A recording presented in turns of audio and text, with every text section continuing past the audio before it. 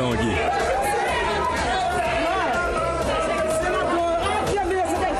Tô substituindo.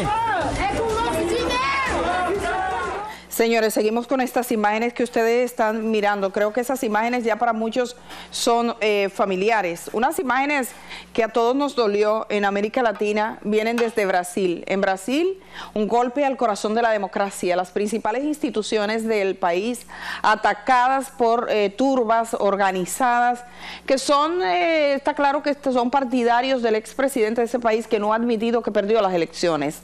Como ustedes saben, ha retornado al poder el día primero de enero de este año el presidente Luis Ignacio Lula da Silva y eh, esto se significaba el domingo para sorpresa del mundo entero. Los ojos de todos van a Brasil. Desorden en el Palacio Presidencial sería el homólogo del Palacio Presidencial de acá en Brasil. Imagínense ustedes que entre la gente al Palacio Presidencial y rompa y acabe con lo que hay y acabe con el despacho de la primera dama, por ejemplo. Eso ocurría en Brasil. Un atentado también contra la sede del Congreso Nacional y de la Justicia del Tribunal Supremo brasileño. ¿Qué fue lo que pasó? ¿Qué ha pasado? ¿Cuáles son las medidas? Porque sabemos que esto no es una cosa sencilla, esto es algo complejo. Nosotros agradecemos a una periodista brasileña que ha estado en el terreno y que incluso ha tenido que tomar medidas ella misma, como todos los periodistas, porque también han, sido atacados. Flavia Rabel está en línea con nosotros, ella está vía Zoom a esta hora de la mañana, así que te agradezco muchísimo Flavia, ¿cómo estás primero antes que nada? Yo sé que ayer estuviste participando en, una, en un encuentro donde estaba el presidente de la República Brasileña con los gobernadores, que has estado reportando todo lo que ha ocurrido. Agradezco que aceptes esta conversación en medio de tanta turbulencia. Cuéntanos de ti y cuéntanos de Brasil. Hola Edith, gracias por invitarme aquí para compartir con usted las últimas noticias sobre los ataques eh, por bolsonaristas en Brasilia. Eh, las, la institucionalidad en Brasil retorna a la normalidad miles de partidários de, do presidente brasileiro Jair Bolsonaro assaltaram o Congresso, a presidência, o Supremo Tribunal do país este domingo rompieron em la sede de los três poderes de Estado que se encontra em la capital, de onde estou, Brasília, antes de ser detenidos por la Fuerza de Seguridad. Y los manifestantes que buscan a, a restaurar el poder al ultraderechista Bolsonaro rompieron ventanas, derrubaron muebles y tiraron al suelo computadores e impressoras. Também danaram várias obras de arte, como um enorme quadro de Emiliano de Cavalcante, com valor estimado em 2 milhões de dólares. Sí, pude ver algunas imágenes. Tú estuviste en los escenarios donde entraron eh, en el día de ayer. Eh, de hecho, el presidente brasileño hizo un recorrido. Cuéntanos qué fue lo que viste, cuál es el sentimiento que experimentan ustedes ante lo que, ante lo que se observa, lo que quedó. Sí, eh, yo soy brasileña, yo soy brasiliense. Yo nací en esta capital, Brasilia. Yo nunca vi una cosa tão horrível uma, que não se chama manifestações. Isso que ocorreu em Brasília é um ato de terrorismo que as autoridades brasileiras já, já qualificado como tal. Né? É muito, muito terrível, muito todas as coisas, o patrimônio público destroçados, é uma uma imagem que vai que queda para siempre en mis ojos como una periodista y como brasileña que soy. Eh, es una pena, la verdad, que te un abrazo desde acá. Sabemos, eh, Flavia, que también ustedes, los periodistas, han trabajado con muchísima dificultad. Cuéntanos esta parte. Eh, me hablabas, me comentabas de cómo tenía que ser muchos periodistas, tú incluida, escoltados, por ejemplo, que es para nosotros una situación muy ajena al ejercicio periodístico. ¿Qué ha pasado y cuáles son los reportes, cuáles las agresiones que sufrieron durante estos desórdenes? Sí, eh, nosotros periodistas fuimos atacados por bolsonaristas en no, la noche eh, de domingo. Eh, tuvimos los la equipaje furtada, robada, danificada. fuimos agredidos com palavras de baja qualidade, amenazados. É, muito difícil, foi muito difícil fazer uma cobertura para reportar o, o que uh, os acontecimentos em la capital. Os bolsonaristas, eh, assim como os ultradireitistas, não não lhe gustam a nós outros periodistas. Eh, fue muy difícil, muy difícil. Le resultó más... incómoda, supongo, la presencia de la prensa, eh, Flavia, porque usted, la prensa, eh, digamos, que hace que la cosa cuente, que se sepa lo que está pasando. Eh, sí, eh, la prensa extranjera también fue atacada. Wow. Muy, muy. ¿Algún periodista, ¿Algún periodista resultó herido o le robaron o algo así? Sí, le robaron la tarjeta de las imágenes con todo lo, la, la eh, como se dice, con Toda todas las imágenes. Exacto. Eh, del trabajo del día fuera perdido, porque los bolsonaristas no permitieron que nosotros reportásemos lo que estaba aconteciendo acá. Eh, Flavia, ¿qué se sabe hasta ahora? Sabemos que el presidente Luis Lula da Silva ha dado un de, varios decretos, varias decisiones. Por un lado, se trata de la reposición de la seguridad, de desmantelar campamentos que el Tribunal Supremo ha ordenado que sean desmantelados en un plazo de 24 horas, donde estaban algunas de las personas que protestaron y otras que quizás no estuvieron en ese escenario, pero que estaban ahí. Sabemos que hay personas que están siendo eh, encarceladas hay eh, uno, una, una, cantidad relevante de, brasileños que estaban retenidos. Tú misma nos compartías unas imágenes que, que nosotros le vamos a compartir a, a continuación de, brasileños detenidos. Bueno, y debo decir que todas las imágenes que estamos pasando en este momento me han sido compartidas por, Flavia, que está en Brasil. Cuéntanos un poco de ese establecimiento de responsabilidades y de las medidas que se han adoptado de forma eh, colectiva.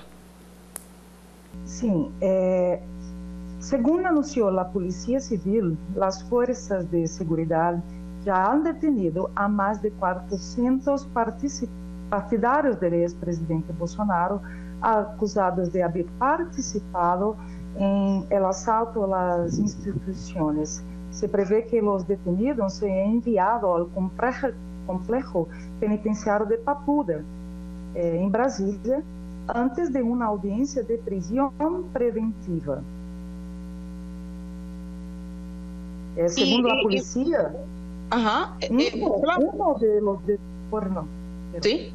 No, no, no. Iba a decir qué pasaba con uno de los detenidos. Lo que, que ha pasado por, por una pericia, eh, una eh, investigación né, de todo tu eh, histórico que como como ligar, ligou aqui acá, por quem quem financiou, porque os manifestantes é, vieram de outros estados brasileiros, tá? então a maioria foram patrocinados, financiados, porque quedaram em Brasília até dois meses eh, en frente al cuartel general de ejército. Efectivamente, la gente necesita trabajar para... Pero dice que ahí tenían comida gratis, que habían incluso iglesias que estaban ahí, parece que hay iglesias que también participaron. ¿Qué se sabe del financiamiento? Yo vi una lista anoche publicada por un periódico brasileño de los propietarios de 40 autobuses que llevaron gente. Señores, imagínense, eso es como aquí en República Dominicana, si hay una campaña hay gente que da dinero para el picapollo, le da dinero para el pote de romo, le busca la guagua. Por lo mismo pasaba en Brasil, de alguna manera, gente que estaba viviendo ahí por más de dos meses con todo disponible. ¿De dónde salían esos recursos, Flavia? Sí, la información, según el ministro de la Justicia, Flavio Dino, eh, que uh, se ha hecho, hecho, una investigación, eh, tiene al menos 100 grupos de empresarios que financió, que contribuyó para que esto todo uh, ocurriera acá en Brasilia. Né? Estes dados estão sobre sigilo, pero ainda não foram divulgados até, até o momento. Mas estamos, estamos acompanhando para saber. É, um dado importante: os financiadores que patrocinaram é alto é, quedam no sul do Brasil. É, praticamente, é, pero, é, são empresários do agronegócio grande, muito grande, que patrocinaram a estas pessoas, pessoas, perdão, venirem acá e destruírem todo. Eh, bueno, eh, ayer estuviste, y bueno, quiero decir que, eh, Flavia, que vi algo y es que a los empresarios, sus empresas podrían sufrir medidas ¿Se estima cuántos años de cárcel podrían enfrentar, por ejemplo, los que robaron en el palacio, los que rompieron, los que hicieron actos que en Brasil están calificándolos como actos terroristas? Sí, a estos empresarios serán, eh, serán punidos penalmente y civilmente, con prisión, multa y también van a resarcir el erario brasileño. Eh, serão presos, com certeza. Hay gente que se ha desdicho, por ejemplo, gente que estaba transmitiendo en vivo. Hemos visto algunos eh, de los que se denominan ahora influencer y demás, y que ahora están como reculando y dicen, no, yo no estaba ahí, pero las imágenes lo están descubriendo. También vi una cuenta que tiene más de un millón de, personas identificadas, que, que eh, digo, más de un millón de seguidores la cuenta, identificando a cientos eh, de partidarios de Bolsonaro que estuvieron dentro de los locales de estas tres instancias del Estado brasileño. Eh, los, esa gente, alguno, ha salido a dar explicaciones, hay políticos que han dicho que ellos mm, quisieron decir, pero en realidad fue ese tipo de cosas. Sí, sí, ya, fueron identificados. Hay eh, en este grupo ex-mandatarios, ex, eh, que, ten, que tenían mandato político, eh, e outras pessoas eh, que a justiça está eh, eh investigando para saber eh, como eh, receberam, como planearam todo o que passou. Nós temos uma... foi uma coisa planeada, muito planeada. No, pareció una cosa casual. Eh, hay unas imágenes de una reunión que sostuvo ayer el presidente eh, brasileño con gobernadores de, todo Brasil, 22 gobernadores. En, en, Brasil, fíjense ustedes, tenemos menos gobernaciones que en República Dominicana y es 10 veces este territorio, son 23, entonces 22 participaban en el día de ayer. Eh, tú nos compartías esas imágenes, también tenemos imágenes del recorrido que hizo Lula en, eh, frente a todos esos eh, escombros. Me gustaría que nos contara un poquito del sentido de esa reunión y las medidas políticas que se comienzan a adoptar. Eh, bueno, los 22 gobernadores aceptaron la invitación de Lula para que hablasen sobre o, o, o ocorrido e que não se passe em los demais estados brasileiros. As medidas de segurança pública foram foram habladas na noite de aí, certo? Então, foi numa reunião, reunião muito produtiva, inclui eh, dois governantes são bolsonaristas e estiveram acá e compartilham com a, a preocupação com o presidente da República é, sobre o, que passou e que prometeram ao presidente Lula que isso não passará em, su, em seus estados brasileiros. Eh, sí, bueno, yo tengo también una imagen. Tú nos compartías del presidente recorriendo la zona de destrozos, tú estuviste ahí. Eh, y dices que tú que naciste en esa ciudad nunca había visto algo similar. Vamos a compartir esas imágenes donde el presidente Luis Ignacio Lula da Silva supervisa los daños que se produjeron, que son cuantiosos. ¿Se ha estimado eh, cuánto, cuánto valor, cuánto se perdió en daños eh, en toda esta institución? Vean ustedes, fueron imágenes que me compartía Flavia en el día de ayer y que hoy estoy compartiendo con ustedes. ¿Cuánto se perdió ahí, Flavio? Não se tem um valor ainda, é, um valor estimado, porque a perícia, a polícia ainda não concluiu la, os danos passados. Se sabe que é, há muita plata, há um valor inestimável, né, que é o patrimônio da humanidade de todos os brasileiros. Eh, y esto a uh, UNESCO está calificado en la UNESCO como el patrimonio de la humanidad. Wow. Entonces, eh, entonces no se tiene ainda, sabemos que es un valor muy grande. Y la policía, uh, los peritos, eh, van a, a divulgar en los próximos días. Sí, estamos mirando estas imágenes de ese recorrido que hacía ayer el presidente acompañado de los gobernadores. Eh, Flavia estuvo ahí. Flavia, eh, finalmente quisiera preguntarte sobre el personaje Bolsonaro, que ha dicho que está enfermo, publicó una fotografía, incluso que aparecía como internado, que ya está de alta. Cuéntanos de este hombre que ha sido eh, señalado como quizás el principal responsable de los hechos que ocurrieron, aunque él lo niega. sí, Edith. Eh, bueno. ¿Qué, ¿Qué, nos dices de él sobre, sobre Bolsonaro? Eh, eh, eh, ¿Cuál es su situación? ¿Crees que será juzgado en Brasil? ¿Hay ya algo señalado en ese sentido? ¿Tiene él o no responsabilidad? ¿Cómo, cómo será esto? ¿Cómo será su proceso ahora?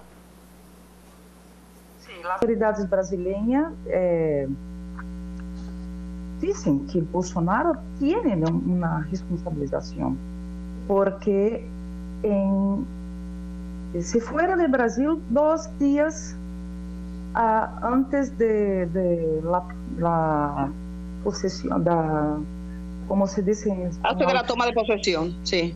Exato, de, de Lula.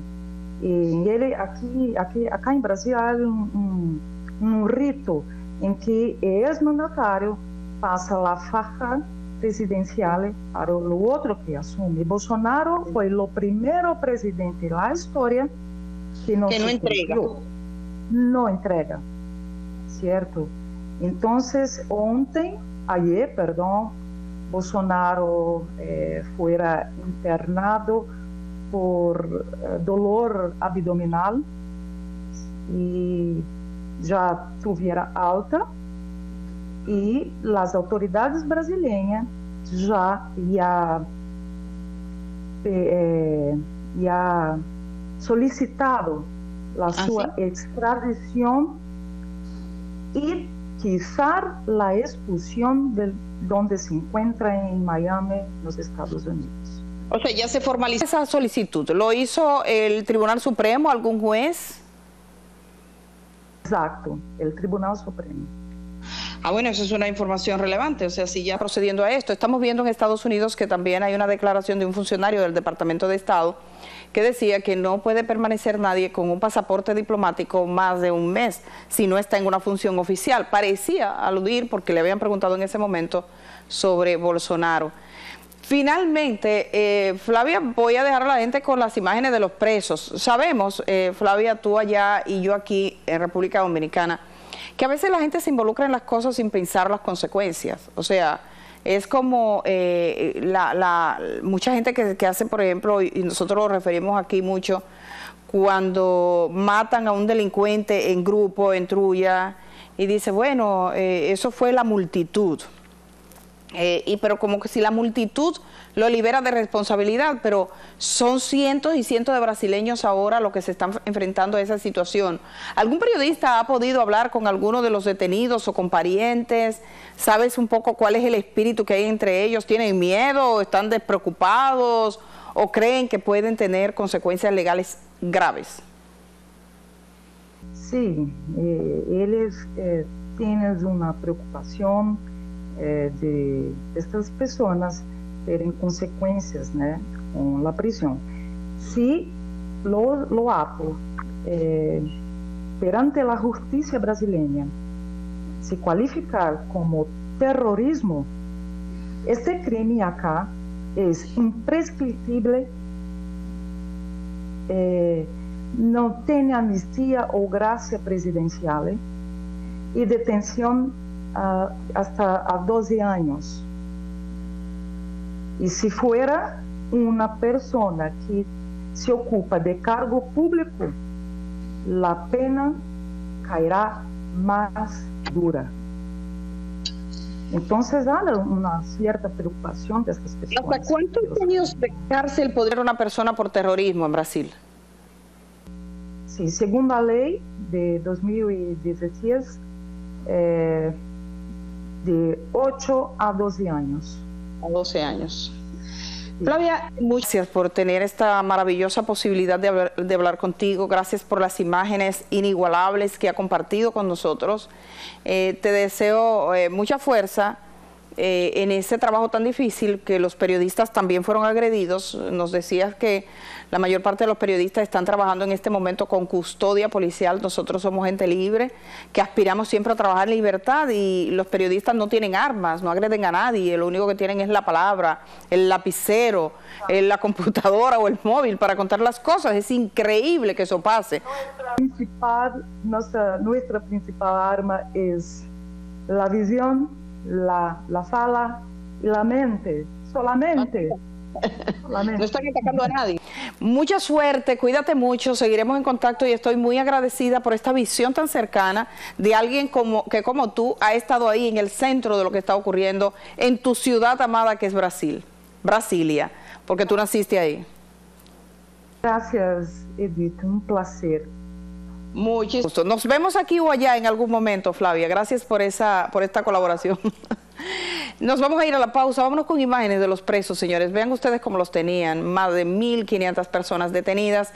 Ustedes saben que cuando la gente se agrupa, piensa que no hay consecuencia, porque en el molote, como dicen aquí, en el grupo, la gente organiza y entra. Hay gente que a veces cuando hay un linchamiento, se entra en el linchamiento nunca pensó golpear a nadie y participa en una golpiza. Yo creo que algunos quizás motivados por esa idea de que ya ellos eran gobierno por hacer desorden, quizás estaban ahí implicados. Ahora están así, sentados, vigilados. Mírenlo ustedes cómo lo tienen, cientos y cientos de personas detenidas, todas están siendo eh, depuradas para ser procesadas. Vamos a la pausa, regresamos de una vez, hablamos con una abogada, vamos a hablar. Señores, ¿hay derecho en una discoteca para que le digan a usted que usted no puede entrar?